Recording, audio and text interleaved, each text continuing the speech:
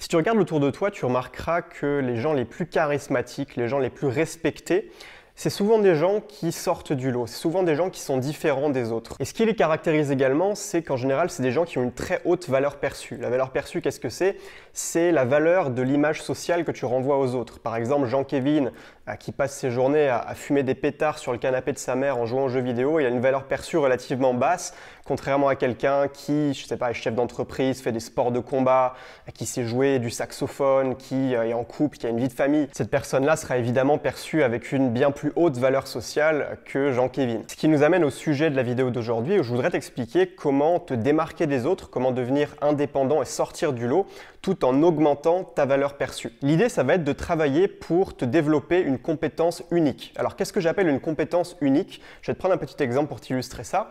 Euh, le vélo, on sait un petit peu tous faire du vélo. Hein. La majorité des gens, je dirais 99% des Français savent faire du vélo. Ce qui ne veut pas pour autant dire que apprendre à faire du vélo, c'est facile. Pour quelqu'un qui n'en a jamais fait, c'est peut-être quelque chose d'assez long avant de vraiment réussir à bien maîtriser. Sauf que si aujourd'hui tu vas dire à quelqu'un, bah regarde, moi je sais faire du vélo, euh, c'est génial, eh bien tu vas laisser les gens complètement indifférents, hein. personne n'en a rien à foutre simplement parce que tout le monde sait le faire. Et finalement, la valeur perçue que va renvoyer une compétence, c'est pas la difficulté à acquérir cette compétence, c'est plutôt la rareté de cette compétence. Par exemple, si tu sais dessiner, euh, si tu sais jouer du violon, si tu fais de la boxe depuis 10 euh, ans, si tu sais parler russe, Là, à ce moment-là, tu as entre les mains une compétence que moins de 5% de la population possède. Et c'est à ce moment-là que tu vas éveiller l'intérêt des gens. C'est à ce moment-là que les gens vont se dire Waouh, putain, il est balèze quand même. Moi, par exemple, tu le sais peut-être, mais pendant toute mon adolescence, j'avais très peu confiance en moi, j'avais beaucoup de difficultés à m'exprimer et à créer des liens avec les autres.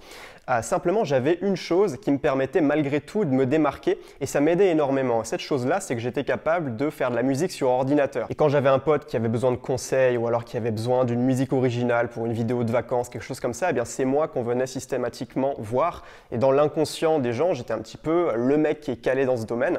Et donc ça augmentait littéralement ma valeur perçue, même si bon, c'était pas au top étant donné qu'au niveau du reste, j'étais vraiment au niveau zéro, j'avais pas confiance en moi, tout ça.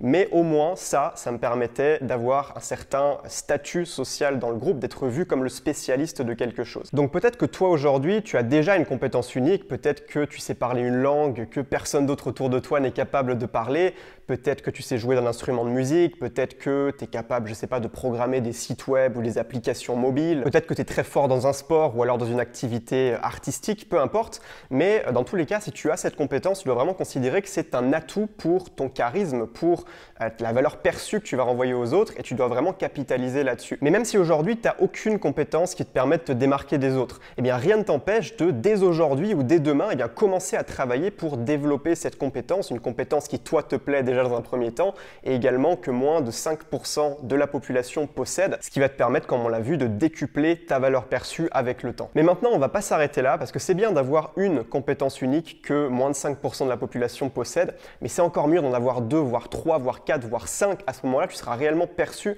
comme une personne extraordinaire, une personne qui inspire le respect, une personne qu'on va prendre comme modèle, qu'on va prendre comme exemple de réussite. Donc je t'invite à te poser la question, quelles sont les compétences uniques que j'ai envie de développer sur ces prochaines années? L'état d'esprit dont tu as vraiment besoin, c'est de toujours chercher à t'améliorer en permanence, devenir une meilleure personne et acquérir de nouvelles compétences. Moi, si tu me suis depuis longtemps, tu sais que ces dernières années, j'ai développé énormément de nouvelles compétences, j'ai beaucoup beaucoup travaillé sur moi-même, mais c'est pas quelque chose que j'arrête de faire. Là, notamment en ce moment, je suis en train d'apprendre le thaïlandais. Comme je suis expatrié en Thaïlande, eh bien, je me suis lancé le défi d'apprendre la langue locale, même si ce n'est pas euh, ma priorité numéro un. J'apprends peut-être lentement, mais je continue à m'améliorer de jour en jour, de semaine en semaine.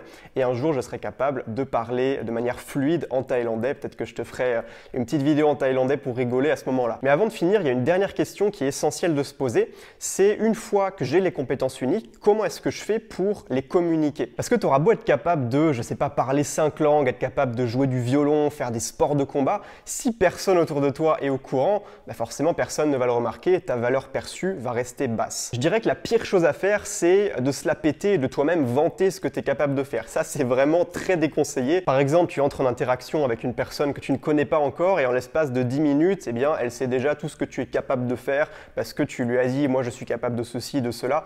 Si tu fais ça, euh, l'image que tu vas renvoyer à ton interlocuteur, c'est l'image de quelqu'un qui recherche l'approbation. Et ça, on veut surtout l'éviter. Si tu arrives à te montrer comme une personne qui ne ressent pas le besoin d'étaler son talent devant les yeux du monde entier, à ce moment-là, eh bien, tu seras perçu comme une personne qui a confiance en soi, qui a une vraie estime d'elle-même et qui se sent en parfaite sécurité dans toutes les interactions sociales, qui ne cherche pas en permanence l'approbation des autres. Mais là, j'en vois certains venir me dire Oui, mais Emilio, si je ne mets jamais mes points forts en avant, si je parle jamais de ce que je suis capable de faire, eh bien, personne ne le remarquera. En fait, l'idée, c'est de communiquer tes forces en toute subtilité, c'est-à-dire d'en parler seulement quand le contexte s'y prête. Par exemple, si tu parles couramment le russe et qu'un jour tu te retrouves avec quelqu'un à parler de voyage, ben toi tu peux lui dire, ben voilà, moi je vais régulièrement en Russie, je prévois d'y aller l'été prochain, je parle la langue du pays, donc voilà, je sais pas si toi tu as l'intention d'y aller, mais c'est vraiment un très beau pays. Donc comme tu vois ici, si tu mets en avant tes forces quand le contexte s'y prête et quand ça apporte de la valeur à la conversation, à ce moment-là tu seras pas perçu comme le gros relou qui est en recherche permanente de l'approbation des autres. Et ce qui est très puissant quand tu procèdes comme ça, c'est que c'est les autres qui vont mettre en avant tes qualités à ta place. Il n'y a rien de plus puissant que d'avoir tes qualités qui sont mises en avant non pas par toi, mais par quelqu'un d'autre, par un ami à toi,